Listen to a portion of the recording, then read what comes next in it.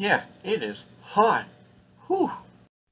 A clue, a clue! You know, it's not so much the heat, it's the humidity. No, it's a clue! Oh, a clue? Oh, a clue. Oh, there's a paw print on this picture of Blue's School. You know how we can remember this clue? With our handy dandy Notebook. notebook. Right. Okay. The roof looks like a trapezoid, a square for the building, a rectangle for the door, two lines, and a triangle here. A bell, and two doorknobs. There, Blue's School. So, we're trying to figure out who we forgot to invite. And our first clue is Blue's School. What do you think?